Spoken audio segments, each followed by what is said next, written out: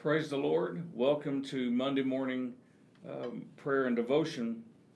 This week we're doing things a little bit differently. If you'll notice, uh, this is probably stating premiere instead of the normal live, and that's because of the difference in time zones, me being out of pocket this week.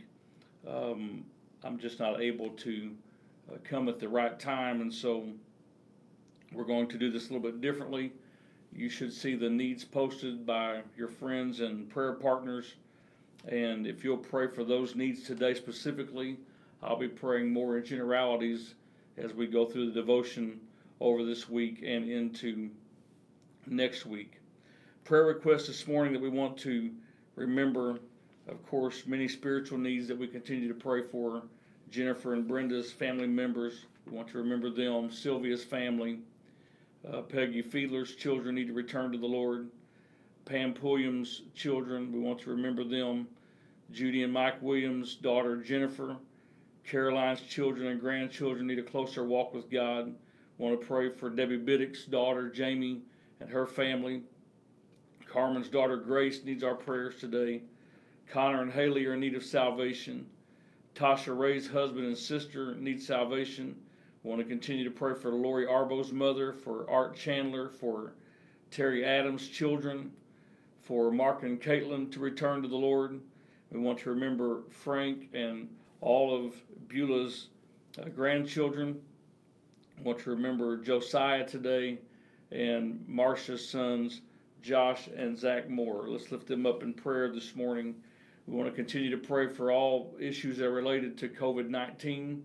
We know there are many that uh, have contracted that infection, and uh, the spike um, has continued in many places. And we just want to continue to hold up those in prayer, pray for those who are most vulnerable, the elderly and the infirm, that they would not contract this. And let's pray for breakthroughs in treatments and in vaccines. And uh, we want to just believe God to help all those uh, today to come off ventilators, to come out of medically induced comas, and so many today that are afflicted with that, that even you and I know, and those who have been tested positive. So let's continue to remember them in prayer. We want to pray for all those who are battling cancer. We want to pray for continued recovery for Gerald Yealy, for Evelyn Marshall, for Dwayne Rogers' mother in law, for Steve Skates, uh, Cody Robinette, Brandy Bryant, Nick Searcy, Rue, Adrian Neely, and Ethan Harville. All of these have had tremendous progress. We want to continue to believe God for a touch in their lives today. We want to pray for all those that are struggling with mental health issues, those who are battling with depression, those who are battling with bipolar disorder and dementia, um, that God would touch their minds today and whether those causes be from clinical sources or, spiritual of a spiritual nature, our God is able to take care of those needs today. We want to pray today for healing of high blood pressure, healing of diabetes, people that are struggling with allergies and breathing problems and diseases of the lungs. We want to pray against heart disease today and against Parkinson's disease. We want to pray today for uh, those who are shut in that aren't able to attend church services either due to age or due to restrictions in the area that they're living in. We want to pray for our nursing home residents, especially today, who are cut off from much of the normal fellowship that they are able to have. We want to pray for all those who are awaiting test results, whether it be for COVID testing or medical testing, those who are facing surgeries Pray for guidance for the surgeons today, for God's hand of protection upon the patients. And uh, we want to pray for those who are experiencing marital problems today, those who are dealing with job situations in this economy, underemployed and unemployed.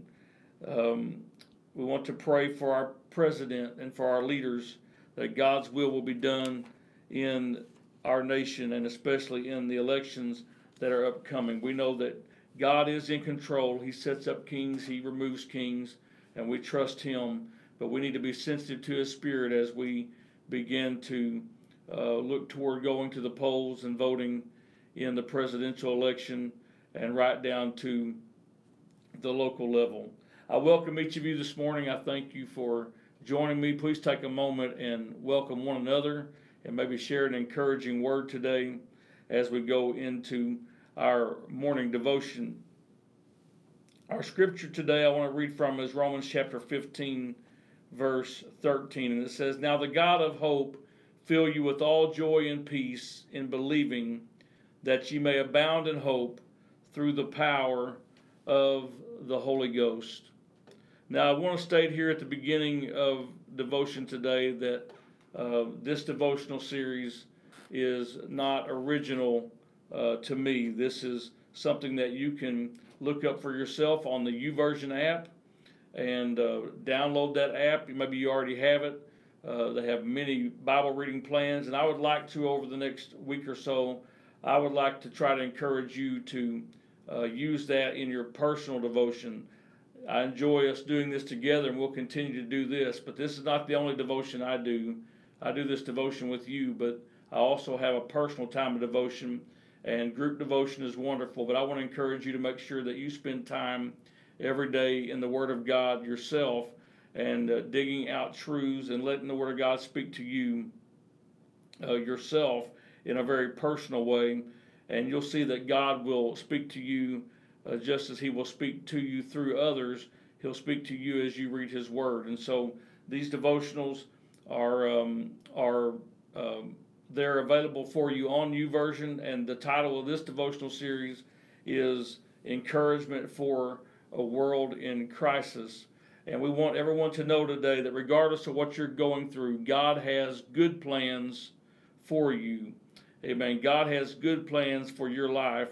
And our prayer today is that God would fill you with His joy and His peace, and that as you trust in Him, as the scripture says, you will overflow with hope by the power of the Holy Ghost working in your life. You know, we're living in an unprecedented time as we navigate the life threatening and economy shaking struggles that we're facing because of the COVID 19 pandemic. In the past, we've seen catastrophic diseases, disasters, and wars impact various countries, but this is different. At this time, the whole world has something in common. We're all trying to survive this deadly virus, whether it's uh, something that we're worried about physically, and I know that many people it does not really affect that that badly, even if you get it. But the economy affects us, and the impact on the school systems and and businesses, our jobs, all these things are in the balance, and so we're trying to survive this pandemic together. And as followers of Jesus, we have to figure out how do we make sense of this? What do we do with our questions to God? uh, and our questions of God? How do we find good news when we turn on the news and all there is is a continual stream of bad news? How do we grasp how this fits into uh, the Word of God and into the promises of the Word of God? Jeremiah um, talked about this extensively. You can read this if you'll look up in this YouVersion app. You can read in Jeremiah 27, Jeremiah 28, and Jeremiah 29, verse 1 through 14. You can see Jeremiah grappling with these same issues. And God said, For I know I have plans, or for I know the plans I have for you. They are plans for good and not for disaster, to give you a future and a hope. Jeremiah 29 and 11. This verse gives hope and is our spiritual security blanket in hard times. It's printed on t shirts, it's etched on coffee mugs, it's stamped on greeting cards. While God is a hope giver, we have to understand the context, though, of this cherished verse.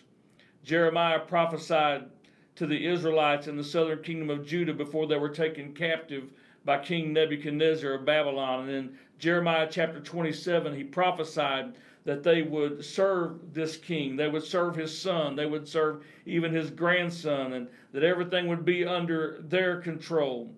And in the next chapter, a false prophet named Hananiah told the people of God that God was going to free them and that he would restore them in two years. And Jeremiah challenged Hananiah because of his lies. He also said that Hananiah would die, and in two months uh, he was dead. In chapter 29, Jeremiah encouraged the people to live their lives while they were in exile, to work, to marry, to plant, to eat, and to multiply. And he told them that they would be in Babylon for 70 years, but then they would be brought home again. God's plans of a hope and a future for his chosen people probably didn't match what their idea was, just like it doesn't match maybe what our idea is right now. They wanted to go home, and yet God said it'll be 70 years. They wanted their own king, but God said they would have to serve the Babylonian king. They wanted to flourish in their homeland, but God said to do that under a government um, that was holding them captive uh, was what the order of the day was. They were going to have to do it right there. And possibly the hardest part was that the older generation would never go back home again. They would indeed die in that foreign land serving a foreign king, but the, the direction was still the same. Live for God where you're at. Do the best where you're at in the circumstances that you find yourself in. We can't insist on our idea of a bright and hopeful future. You know, we tend to be very short sighted and very earthly minded, but God's ways are higher than our ways. His thoughts are higher than what our minds can grasp. But His plan, we need to understand, is a better plan. And His plan will include forever, not just a now and now, but forever in heaven with Him, and not just this short little uh, dressing room phase here on earth. If our hope is laced with doubt and with fear and anxiety, then we can change that today. We can change the way that we think about the situation that we're in. We need to eliminate the hope so attitude and replace it with a know so mindset. Our hope should ne- never be tied to the conveniences and pleasures of this world and what it has to offer. It should never be tied to the conveniences and pleasures that the world offers us. But instead, we need to fasten our minds on the promises and the truths in the Word of God and fix our sights on the day when our bright and glorious and eternal future becomes reality for us. Instead of spending our time wishing away our predicament, let's have confidence that God will deposit hope into us no matter what we're facing. He will give us what we need. You know, Jesus instructed us to pray, Give us this day our daily bread. And He wouldn't have instructed us to pray that if God didn't intend to answer that prayer when we prayed it. So God knows what we need, and He's going to work in our lives today. Let's go to prayer right now and let's ask God to move in these situations. I encourage you, call these names that you see on the list today before the Lord in prayer. I'm going to pray with you and guide you through the prayer, but you pray specifically as I pray over these general areas of need today. And let's believe God to move in every life, in every situation. Amen. For God to infuse fresh hope and for God to help us to see His ways. Amen. His desires for us and how He's working in our lives uh, through every situation that we go through. Let's pray together and let's lift up His name for a few moments here. Lord, we bless you today. We worship your great name. We thank you for another opportunity, Lord, to come together in prayer. Lord, to lift up your name and to glorify you and to recognize who you are in our lives. Lord, to take this moment and just submit our wills to you yet again. And Lord, to acknowledge that you are in control and that we're okay with that, God. We're okay, Lord, with not being in control of our lives as long as you are at the helm. And so we pray your kingdom come today. We pray your will be done in our lives today, God, as we submit our will to your perfect plan. Hallelujah. We trade, God, our wishes, Lord, for your plan today. Hallelujah. For the hope that we have in you. In Jesus' name, we believe your word, God, and we trust in you. And we believe you're giving us our daily bread today. You're giving us what we need this morning. Hallelujah, hallelujah. We praise you, mighty God. We lift up your name and we pray now, Lord, for all of these that are needing to return to you, Lord. Backsliders uh, that need to return to you. Revival that needs to happen in our families, uh, in our communities, God. We call the names of backsliders before you and people, God, who have never yet served you, never known you in the power of your Spirit. And we're believing, God, that you're going to move in their lives today. We believe that in these last days there's a drawing of your Spirit. Uh, let it happen, God, in every family. Lord, those that are most distant from you today, God, there's nothing that's too hard for you and we believe you to move in their lives. We believe for Brenda's family members today, God. We believe for Sylvia's family today, for Peggy's children, Lord, that they're going to serve you. We pray for Randy and Bobby and for Jenny and for Joe today. Sister Pulliam's children, Lord, move in their lives, God. Direct their paths. Lead them, Lord, in the way that you desire for them to go. We pray, Lord, for Judy and Mike's daughter, Jennifer. We believe for her salvation, Lord. You're able, God, to do that work in her heart today. Draw her to yourself, God. We pray against any condemnation that would come against her today. Lord, let her see the hope that she has in you this morning. In Jesus' name, we pray, God, for Caroline's children and for her grandchildren this morning. We pray, God, that they would draw closer to you, that they would walk with you today, Lord. Hallelujah. We pray, God, for Carmen's daughter. Lord, we pray your influences on her life, uh, God, through those that you place in her life today. Hallelujah. We pray, God, for Debbie Biddick's daughter, Jamie, and her family. We pray for Connor and Haley, Lord, for their salvation this morning. We pray for Tasha's husband, Adam, and for her sister, Heather. God, move in their lives today. Draw them to yourself, Lord. Hallelujah. Draw them by your Spirit, we pray. In Jesus' name, we pray for Lori's mother, God. Lord, that she's going to return to you. We believe that with all of our hearts. We believe for Art Chandler today. We pray for Terry Adams' children today, God. We pray for Mark and Caitlin to return to you. We believe, God, for Frank, God, for what's best in his life, that you're going to meet his needs, that you're going to encourage him. Hallelujah. Lord, you see him today, God, in his need, his family's needs, God. We pray for all of Beulah's grandchildren that you would move in their lives today.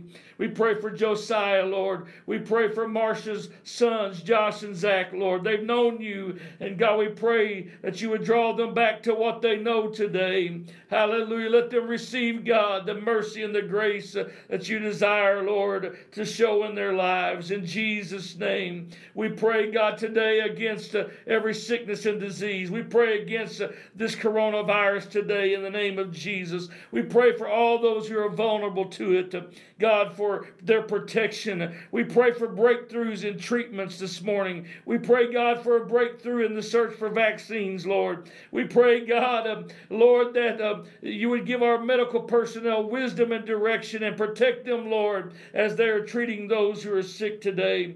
In Jesus' name, we pray, God, for our economy, Lord. We pray for a full recovery today. We pray for every job issue for those that are unemployed, those that are un- underemployed, God, because of this pandemic. And we believe you, God, for a full recovery. We pray for our president today, Lord, for our vice president, for our leaders.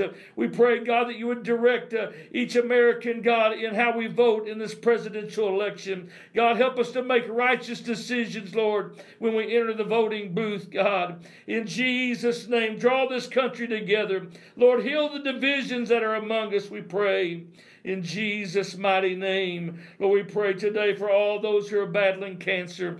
God, you're the, you're the master of every sickness and disease. And we believe you, Lord, for their healing today. In Jesus' name, we pray for continued recovery this morning for my Aunt Evelyn, Lord, for Gerald Yealy, for Dwayne's mother in law, for Steve Skates. We believe for continued recovery for Cody Robinette, Lord. That's a long road for him, God, but you're with him. And we believe you for a full recovery. We pray, God, for recovery from stroke for Brandy Bryant and for Nick Searcy. And Lord, for Rue today, we believe for his complete recovery, Lord. You see the multiple issues that he's faced throughout his life, but you're with him today, and you're going to continue to help help him and touch him today. We pray for Adrian, Lord, that you would continue, Lord, to touch Adrian today and minister recovery to her. We pray for Ethan Harville, God, Lord, that you would touch him after that auto accident, that he would have a full recovery. In Jesus' name, we pray for those that are struggling with mental health issues today. God, whatever that it is, whether it's from a spiritual source or, or whether it's from a clinical source, God, we pray, Lord, that you would touch them and make them completely whole. We pray against high blood pressure in the name of Jesus. We claim victory over diabetes right now, over allergies and breathing problems and every disease of the lungs today, emphysema and asthma. We come against in Jesus. Jesus' name. Hallelujah, hallelujah. COPD, we come against uh, you in Jesus' name. We believe for healing of Parkinson's disease and every neurological disorder today. In the name of Jesus, we pray for every shut in right now, every nursing home resident. God, that they would receive encouragement, that your spirit would just flow to where they're at, God, and help them and minister to them right now. We pray for all those that are waiting test results right now, those that have been tested for COVID, Lord, and those that are having medical testing done right now to try to find diagnoses of what's going on in their lives, Lord, in their bodies. We pray for good results today. We pray for negative COVID results. And Lord, for good results from every test today. In Jesus' name, every MRI, every CT scan, we believe, God, for you to move right now. In Jesus' name, every ultrasound, God, we believe you for good results. In Jesus' name. We thank you, God, for all that you're doing. Hallelujah, hallelujah. We pray for those that are facing surgeries today. We pray you would guide the hand of the surgeons, Lord. God, that you would protect them as they go through those procedures, Lord. In Jesus' name, be with their families today and strengthen them. And we give you all the praise and the glory in the mighty name of the Lord Jesus. Hallelujah. Lord, lead us through this day. We give this day to you. We commit it to you, Lord, and all that's in it. Let your perfect will be done, we pray. In Jesus' name. In Jesus' name. God bless you today. Amen. Stand upon the word of the Lord. Stand upon the word of the Lord as you go throughout this day. And I look forward to us coming together again tomorrow morning. Again, I'm not able to come to you in real time, but I will be looking at your prayer request. Anything you submit this morning or, or overnight, please um, do that. Go ahead and do that. And even though I'm not praying specifically for those on the air, you can do that. And I'll be catching up with you and praying with you for those needs as well when I'm able to do that throughout this day. God bless you in Jesus' name. And I will see you again tomorrow morning right here on Facebook Live at 7:30 a.m.